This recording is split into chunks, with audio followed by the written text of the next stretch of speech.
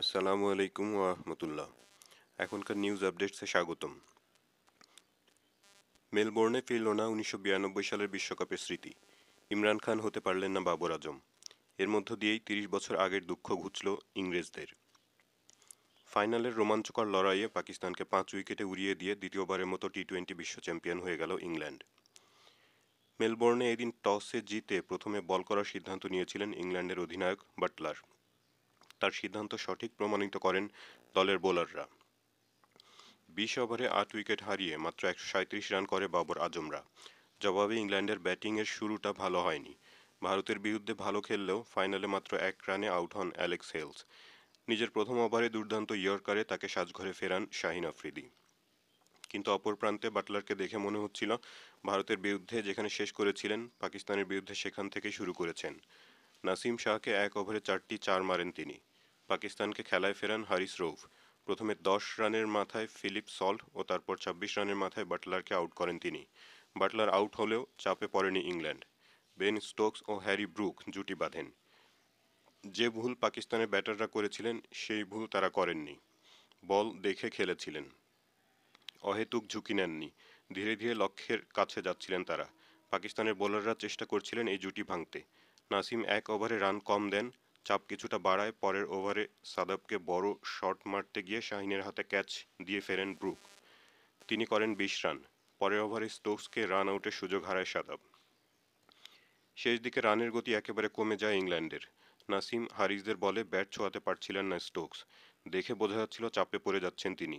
শেষ পাঁচ ওভারে জিততে দরকার ছিল একচল্লিশ রান। বল করতে আসেন শাহিন।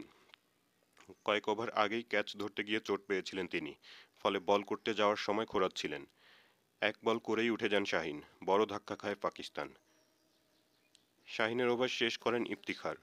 শেষ দু বলে একটি চার ও একটি ছক্কা মারেন স্টোকস। ওই দুই বলেই খেলার ভাগ্য নির্ধারণ হয়ে যায়। তারপরে আর আটকানো যায়নি ইংল্যান্ডকে। শেষ পর্যন্ত বল বাকি থাকতেই জিতে যায় ইংল্যান্ড।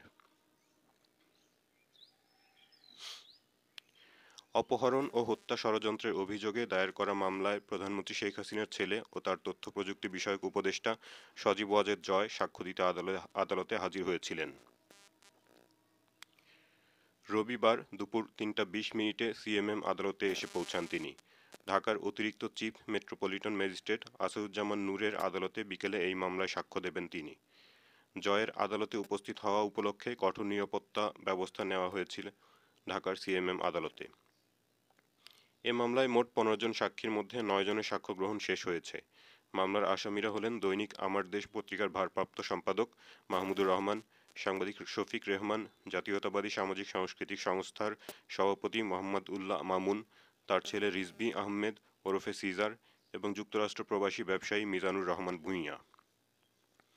মামলার অভিযোগ থেকে জানা যায় যে দুই হাজার এগারো সালের সেপ্টেম্বরের আগে যে কোনো সময় থেকে এ পর্যন্ত বিএনপি সাংস্কৃতিক সংগঠন জাসাসের সহসভাপতি মোহাম্মদুল্লাহ মামুন সহ বিএনপি ও বিএনপির নেতৃত্বাধীন জোটভুক্ত অন্যান্য দলের উপ, উচ্চ পর্যায়ের নেতারা রাজধানীর পল্টনের জাসাস কার্যালয়ে, আমেরিকার নিউ ইয়র্ক শহরে, যুক্তরাজ্য ও বাংলাদেশের বিভিন্ন এলাকায় আসামিরা একত্র হয়ে যোগ সাজসে প্রধানমন্ত্রীর ছেলে ও তার তথ্য প্রযুক্তি বিষয়ক উপদেষ্টা সজীব ওয়াজেদ জয়কে আমেরিকায় অপহরণ করে হত্যার ষড়যন্ত্র করেন।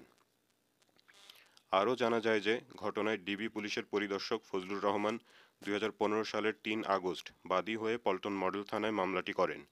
দুই হাজার আঠারো সালের উনিশ ফেব্রুয়ারি সাংবাদিক শফিক রেহমান সহ পাঁচজনের বিরুদ্ধে আদালতে অভিযোগপত্র দেয় পুলিশ। বুয়েট শিক্ষার্থী ফারদিন নূর পরশের লাশ শীতলক্ষা নদী থেকে উদ্ধারের পর গত পাঁচ দিনে পাশের বুড়িগঙ্গা নদী থেকে অজ্ঞাত পরিচয় দুই যুবকের লাশ উদ্ধার করেছে নৌপুলিশ অন্যদিকে প্রযুক্তির বিশ্লেষণ করে তদন্তকারীরা জানতে পেরেছেন, চার নভেম্বরের আগে এক ও দুই নভেম্বর ফারদিন দুইবার চনপাড়া এলাকায় গিয়েছিলেন। আর চার নভেম্বর ফারদিনের সঙ্গে আরেক যুবকও ছিলেন। ফারদিন নিখোঁজ এবং লাশ উদ্ধারের পরও ওই যুবকের হদিস মিলছে না। ফারদিনের লাশ উদ্ধারের দুই দিন পর নারায়ণগঞ্জের ফতুল্লার সরকারি তেল ডিপো যমুনা অয়েল কোম্পানির ঘাটের কাছে বুড়িগঙ্গা নদী থেকে এক যুবকের গরিত লাশ উদ্ধার করে নৌপুলিশ শরীরে আঘাতের চিহ্ন এবং সেলাইয়ের দাগ থাকা মৃতদেহটি পচে যাওয়ায় শনাক্তের নমুনা রেখে একদিন পর দাফন করা হয়। সবশেষ গতকাল শনিবার ফতুল্লার পাগলা পানগাঁও এলাকায় বুড়িগঙ্গা নদীতে কচুরিপানের সঙ্গে ভাসমান অবস্থায় আরেক অজ্ঞাত পরিচয় যুবকের লাশ উদ্ধার করে নৌপুলিশ সূত্র জানায়, ফারদিনের সঙ্গে থাকা যুবকের সন্ধান না মেলা চার নভেম্বর রাতে চনপাড়ায় মারধরের ঘটনা এবং বুড়িগঙ্গায় ভেসে ওঠা দুই যুবকের লাশ ঘিরে অনেক প্রশ্ন দেখা দিয়েছে। নৌপুলিশ ছাড়াও তদন্তকারী ইউনিটগুলো এসব প্রশ্নের জবাব খুঁজছে। এদিকে সন্দেহভাজন হিসেবে চনপাড়া এলাকায় অপরাধ কর্মে সক্রিয় তিন যুবককে নজরদারিতে রেখেছেন তদন্তকারীরা। রায়হান নামের এক যুবককে বরিশাল থেকে আটক করা হয়েছে। নূর জামাল নামের আরেক যুবককেও জিজ্ঞাসাবাদ করা হয়েছে বলে সূত্র জানায়। বিএনপি মহাসচিব মির্জা ফখরুল ইসলাম আলমগীর বলেছেন, বিএনপির জনপ্রিয়তায় ঈর্ষান্বিত হয়ে হিতাহিত জ্ঞান শূন্য হয়ে পড়েছে সরকার। তাই বিএনপিকে দুর্বল করার জন্য নেতাকর্মীদের নানা উপায়ে হয়রানি করা হচ্ছে। বর্তমান ভোটারবিহীন সরকার ক্ষমতার মোহে অন্ধ, বেপরোয়া ও মানববোধ, মানবিক বুধ বোধ শূন্য হয়ে পড়েছে। আর তাই আওয়ামী ফ্যাসিস্ট সরকারকে উৎখাতে জনগণ এখন রাস্তায় নামতে শুরু করেছে। তাদের পতন না হওয়া পর্যন্ত জনগণ রাজপথে অবস্থান করবে। রোববার রাতে গণমাধ্যমে পাঠানো এক বিবৃতিতে তিনি এসব কথা বলেন। রাশিয়া থেকে ইউরোপে যাওয়া গ্যাস পাইপলাইন নর্ড স্ট্রিমে বিস্ফোরণ নিয়ে অনেক সন্দেহ ও ষড়যন্ত্র তত্ত্বের কথা প্রচার পেয়েছে। এবার জানা গেল, দুটি জাহাজ তাদের ট্রান্সমিটারের সুইচ বন্ধ করে বিস্ফোরণের কয়েকদিন আগে নর্ড স্ট্রিম পাইপের পাশ দিয়ে অতিক্রম করেছিল। সম্প্রতি স্যাটেলাইট বিশ্লেষণ কোম্পানি স্পেস নোট তথ্যের বরাত দিয়ে দ্য ওয়ার্ল্ড সাময়িকী এ তথ্য জানিয়েছে। গত ছাব্বিশ এবং সাতাশ সেপ্টেম্বরের মধ্যবর্তী রাতে নর্ড স্ট্রিম এক এবং দুইতে চারটি গ্যাস লিক ধরা পড়ে। ভূতত্ত্ববিদরা সেখানে বেশ কয়েকটি বিস্ফোরণের ঘটনা ঘটেছে বলে সিদ্ধান্তে পৌঁছান। তবে বেশ কয়েকটি দেশ ও সংস্থা একই সাথে সমান্তরাল তদন্ত শুরু করলেও সম্ভাব্য নাশকতার পেছনে কারা রয়েছে তা এখনও উদ্ঘাটন করতে সক্ষম হয়নি। স্পেস নোর বিশ্লেষণে দেখা যায়, ওই এলাকা এবং তার আশেপাশে তখন মোট পঁচিশটি জাহাজ অবস্থান করছিল। তেইশটিতে তখন স্বয়ংক্রিয় পরিচিতি ব্যবস্থার ট্রান্সমিটার চালু ছিল। উল্লেখ্য, এআইএস প্রযুক্তি বিশ্বের যে কোনো জায়গায় থাকা যে কোনো জাহাজের পরিচিতি এবং তাদের অবস্থান সম্পর্কে বিস্তারিত তথ্য রেকর্ড করতে সক্ষম। তবে ওই সময় জাহাজ দুটি পাইপলাইনের কাছাকাছি অবস্থানে থাকলেও এআইএস ট্রান্সমিটারের চোখকে ফাঁকি দিতে সক্ষম হয়েছিল।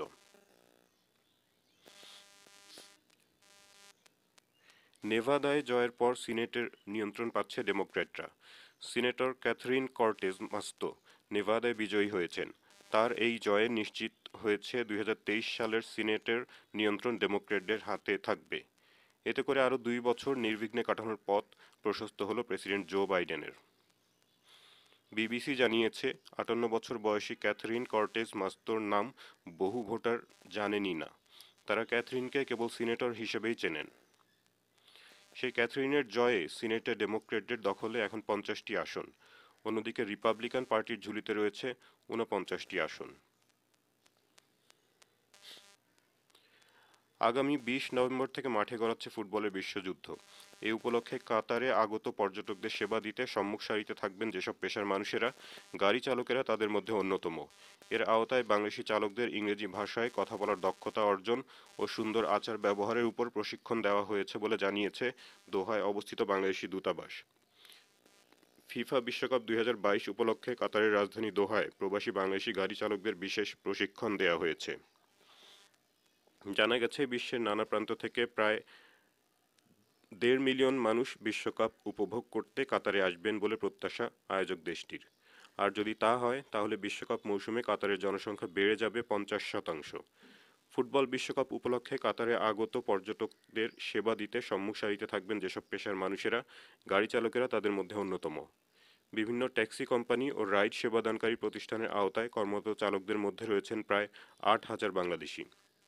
তাই দোহায় অবস্থিত বাংলাদেশি দূতাবাসের পক্ষ থেকে এই চালকদের জন্য তিন সপ্তাহের একটি প্রশিক্ষণ কর্মসূচি গ্রহণ করা হয়েছে।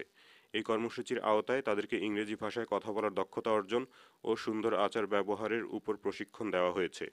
দূতাবাসের মিনিস্টার ডক্টর মোহাম্মদ মুস্তাফিজুর রহমান বলেন, গাড়ি চালকেরা যদি পর্যটকদের ভালো সেবা দিতে পারে, তাহলে তা বাংলাদেশের ভাবমূর্তি উজ্জ্বল করবে এবং এর মাধ্যমে আমাদের দেশের ইতিবাচক ব্র্যান্ডিং করা হবে।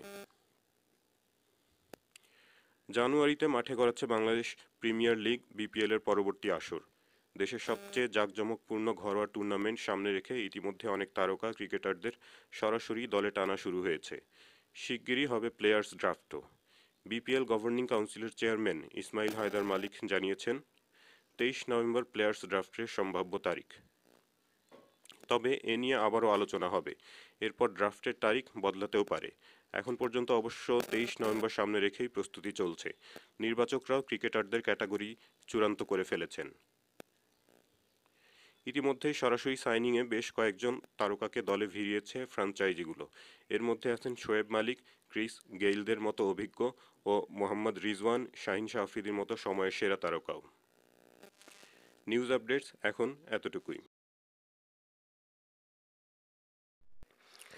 যারা আমার চ্যানেলটি সাবস্ক্রাইব করেছেন, তাদেরকে অসংখ্য ধন্যবাদ। আর যারা এখনও করেননি, তারা অনুগ্রহ করে লাইক, শেয়ার ও সাবস্ক্রাইব করে আপনাদের মূল্যবান মতামত জানিয়ে দিন। ধন্যবাদ।